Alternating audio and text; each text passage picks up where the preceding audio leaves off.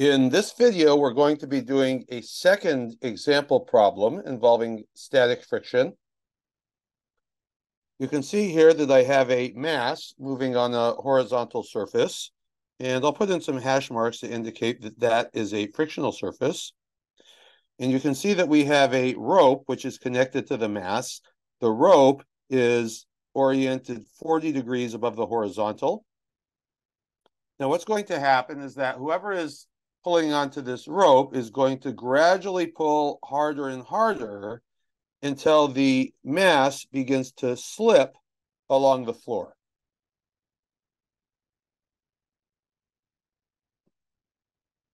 So now we're going to do our second example problem involving static friction. In this problem, I have a, a mass sitting on a horizontal floor. Initially, the mass is not moving we have a rope attached to the mass, and the rope makes a 40 degree angle with the horizontal. Now, what's going to happen is that whoever is going now, what's going to happen is that whoever is pulling on the rope is going to start by pulling gently, but then that person is going to gradually pull harder and harder. And eventually, when that person is pulling hard enough, that box is going to slip along the floor. So we want to know what is the tension in the rope just before the box slips. So we're going to solve this problem using the handout that we've been using. Step one says draw a sketch of the problem. Okay, we have a sketch. Step two, A, says select an object from the sketch and draw a dotted line around the object. So let's do that.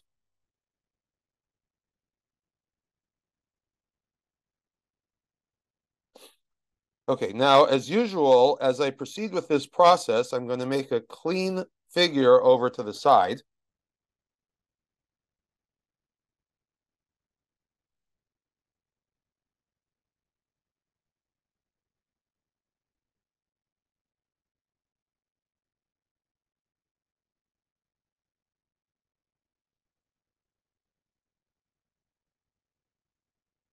Okay, so now let's go through the rest of step two. So 2b, draw the gravitational force vector acting on the object. So that's going to be pointing straight down.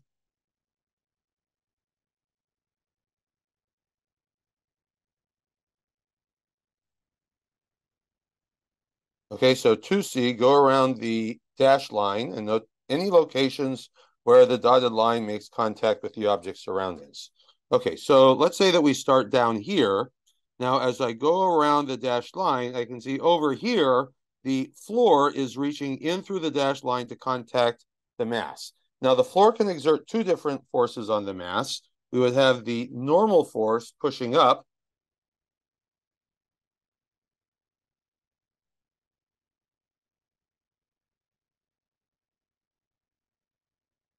And we would also have a frictional force and in this case, because the box has not yet begun to slide along the surface, that would be a static frictional force. So I'm going to come into the bottom surface here and put in a static frictional force, F sub S. Okay, and then continuing around the dashed line, we can see where the string or the rope is reaching in through the dashed line to touch the box. So I'm going to come up to here and put in a tension force. Actually, I'm going to have that tension force reach all the way back to the center so that we can see the components more easily when we get to that point.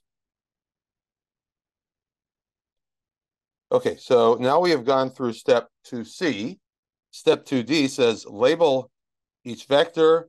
So you can see that I already have the force vectors labeled with the vector symbols now I'm going to go around and put in the magnitudes, magnitude of the gravitational force, mg, magnitude of tension, T, magnitude of normal force, N. Now we get to the static friction force, and we have discussed earlier that the static friction force will be whatever it needs to be up to some maximum value to prevent sliding motion between two objects with surfaces in contact. Right? So let me write that out. Recall that the static friction force will take on a value between zero and some maximum so as to oppose sliding motion between two objects with surfaces in contact. So the question here is whether the static friction force is actually taking on its maximum value at the moment that we're analyzing it. In this situation, the static friction force is taking on its maximum value. The reason the static friction force is taking on the maximum value is that we have gradually increased the tension force to bring the box to the point where it is just almost going to slip. In other words, if we would increase the tension force even slightly more, then the box would slip, which means that at this exact moment, the static friction force is maxed out. So in this case, we can say that the magnitude of the static friction force is equal to the maximum value. And we recall that the maximum possible value of the static friction force equals the coefficient of static friction times the magnitude of the normal force. So I'm going to take this expression and put it into the figure. Okay, so now we have gone through step two here. Step three, introduce a Cartesian coordinate system. And as we have discussed in the previous videos, we want to align the axes of our coordinate system so that as many vectors as possible line up along one axis or the other. And here you can see that standard orientation will do just fine. Three of the four force vectors will line up with one axis or the other if we use the standard orientation. So I'm going to come into the figure. And we have y-axis, x-axis. The tension vector will make an angle theta with the plus x direction, where we call that theta equals 40 degrees.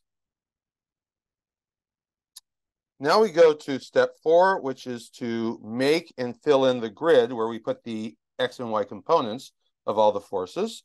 So here I'd encourage you to try to make and fill out the grid on your own.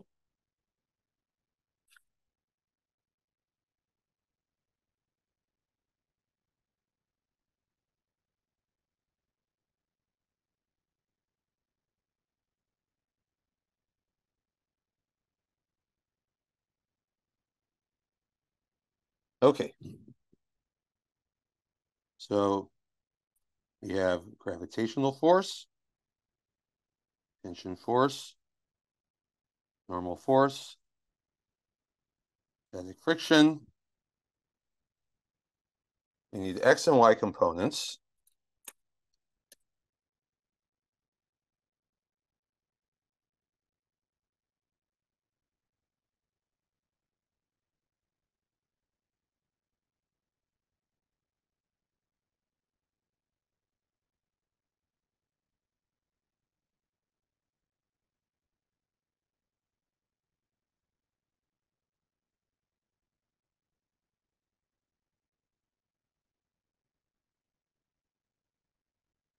All right, so I hope you have already given this a shot on your own to try and fill out the grid. But anyway, let's do it together now. So gravitational force X component is zero, gravitational force Y component minus mg. Okay, now tension force X component would be here. That would be T times cosine theta.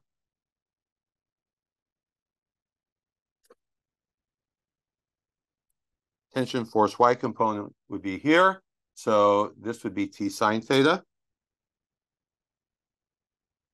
The normal force has no x component, but points entirely along the plus y direction. This y component is n.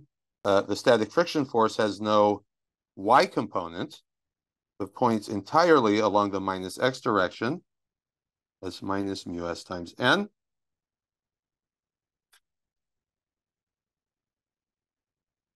All right, so now we have completed step four, and we're going to go to the first condition of equilibrium.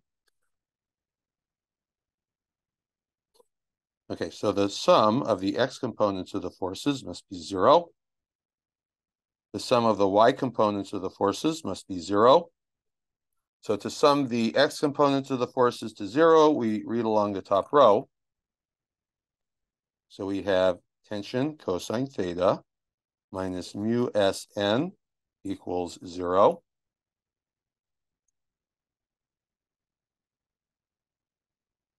Then read along the bottom row.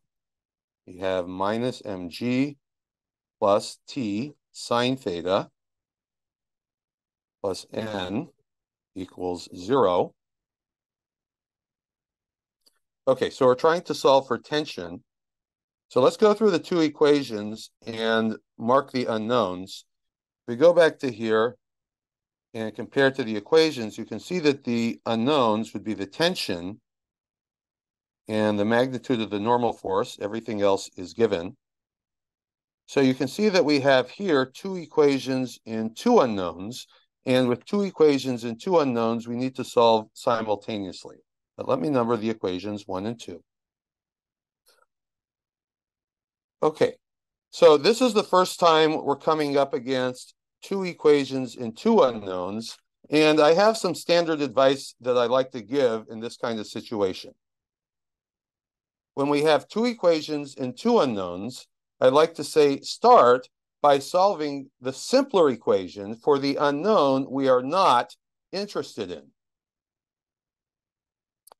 So in this problem, the unknown we're not interested in, not really, is the magnitude of the normal force because the problem didn't ask us to solve for that. We're more interested in the tension. So we're going to solve the simpler of the two equations for the normal force. I would say the simpler equation is one because there's two terms instead of three. So let's just solve equation one for the normal force. Okay, so equation one, rearranging a bit, I'll put mu s n on the right. So now I have t cosine theta equals mu s times n.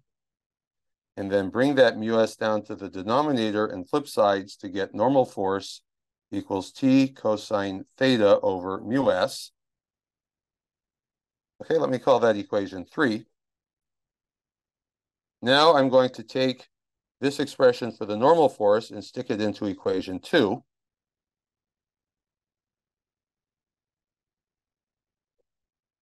I then get minus mg plus t sine theta plus, making the substitution, t cosine theta divided by mu s equals zero.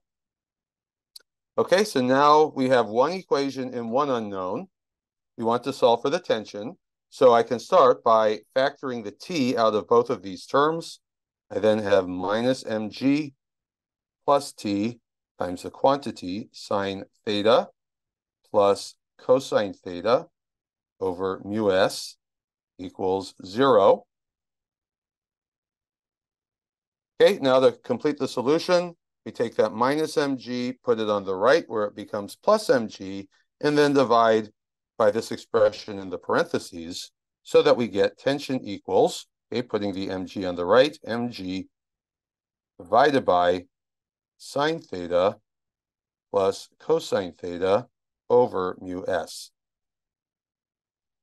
So notice that in solving for the tension, I solved symbolically. I waited until the very end to put the numerical values in, but now we are at the end, so I'm going to put the numerical values in. Okay, so the mass is five kilograms, and I substitute with units. So there's my kilograms.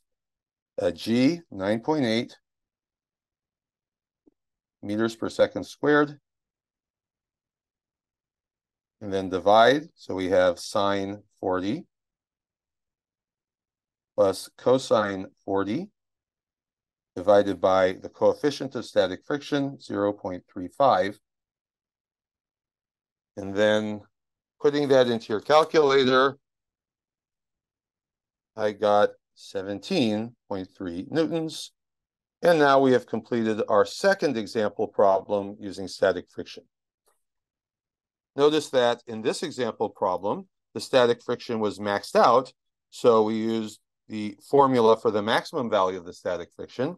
In the previous problem, static friction was not maxed out. So we just used the generic expression F sub S.